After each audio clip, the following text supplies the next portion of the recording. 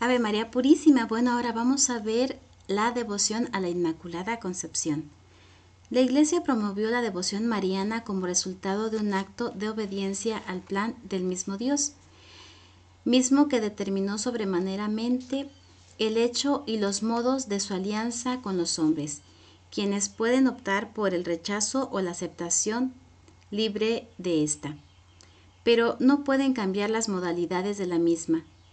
Dicha alianza tiene una modalidad mariana ya que la figura de la Madre de Dios es fundamental en la historia de la salvación, siendo su veneración y culto obligatorio dentro de la Santa Iglesia Católica.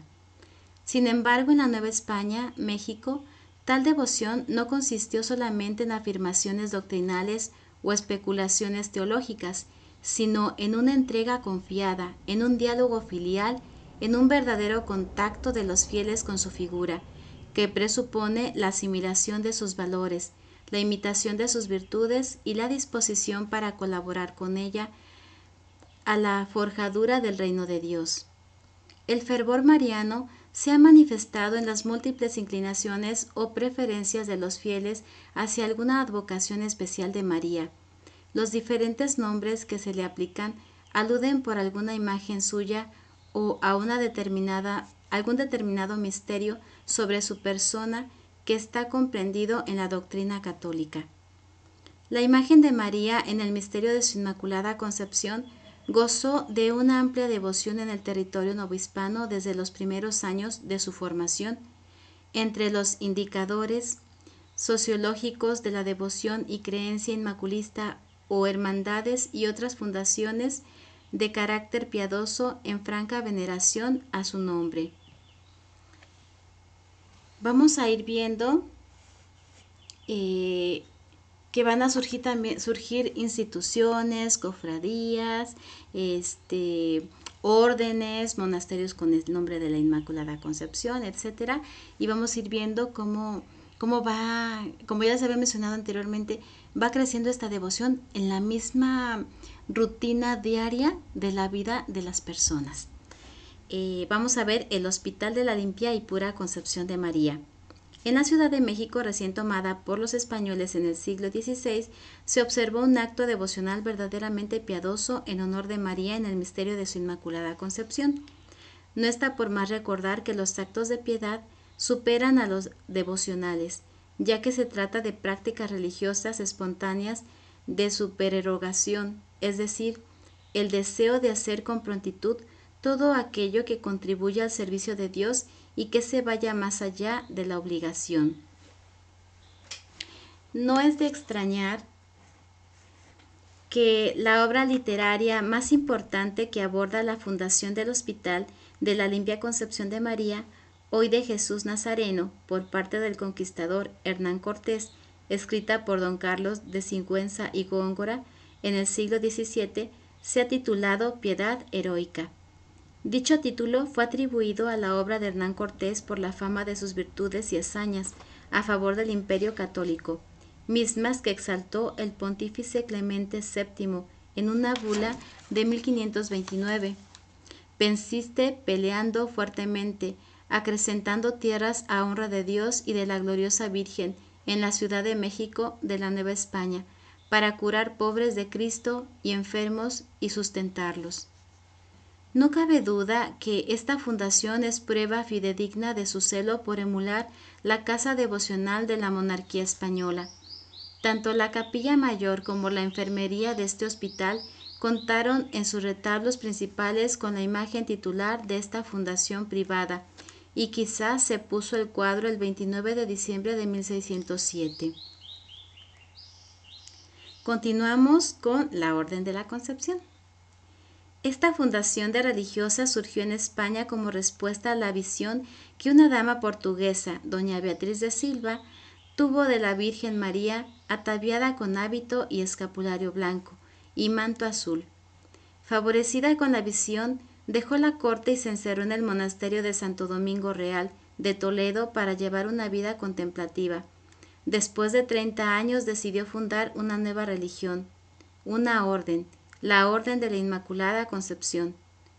La reina Isabel la Católica, por su gran celo apostólico, por la singular devoción que profesaba la concepción de la bienaventurada Virgen María, y deseosa de ver llevada a efecto todo cuanto resultase en honra de María, determinó patrocinar la fundación y entregó a Beatriz uno de sus palacios reales para erigir allí el primer monasterio, en el año de 1489.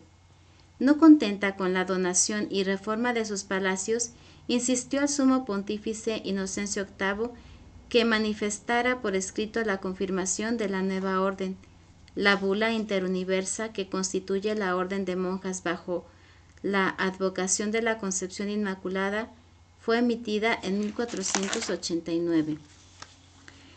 Este fue el primero de los múltiples privilegios particulares que los sucesores de San Pedro otorgaron a dicha religión, porque al loor y glorificación de este admirable misterio y para dejar a los fieles eterna memoria de la Inmaculada Concepción, no acertaron los romanos pontífices a idear otro momento más ilustre que la fundación y apoyo de las monjas concepcionistas.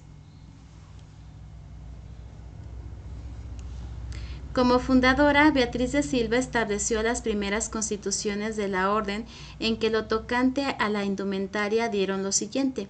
Sea el hábito de las religiosas de esta orden una túnica y escapulario blanco de estamela, estameña, porque la blancura del vestido exterior es testimonio de la pureza virginal del alma y cuerpo, y un manto de estameña o paño de color del cielo azul, por la significación que en sí trae que muestra que el alma de la Santísima Señora, desde el primer instante de su creación, fue tálamo singular del Rey Eterno. Traigan en el manto una imagen de Nuestra Señora cercada de los rayos del sol y coronada de estrellas en la cabeza, con guarnición llana y decente, que no sea de oro, piedra ni esmalte. La del pecho esté de suerte asida al escapulario, para dormir o trabajar se lo puedan quitar y ponerla cuando fueran al coro o al capítulo o al locutorio. En el manto la traigan cosida sobre el hombro derecho. Sean las religiosas ceñidas de cordones de cáñamo. El tocado sea una toca blanca de lienzo que cubra la frente, mejillas y garganta honestamente y sobre ella un velo negro común y no curioso ni precioso. Esta indumentaria, con mínimas variantes, fue utilizada en todos los monasterios concepcionistas, tanto como en la península como en la Nueva España. Así lo demuestran las imágenes costumbristas y pinturas de retrato, entre otras. Hernán Cortés, además de fundar el Hospital de la Limpia y Pura Concepción, dejó en un testamento de 1547 su voluntad para que se edificara en la villa de Coyoacán, en la Nueva España, un monasterio de monjas titulado de la Concepción, en el lugar y la forma que dejara señalado por una instrucción que dejó hecha. La fundación del primer monasterio concepcionista en la Nueva España se remonta a los tiempos del primer arzobispo de México, Fray Juan de Zumárraga, devoto de la Inmaculada Concepción, tal vez por haber sido en España provincial de la provincia de la Concepción habiendo sido guardián de muchos conventos. Las concepcionistas hicieron presencia desde 1530 y en 1540 se hizo la posible, lo posible para que fuera posible su erección y las monjas siempre estuvieron bajo, la autoridad del arzobispo y en ningún momento se designó a las monjas concepcionistas con el triunfo con el, con el título perdón, de franciscanas.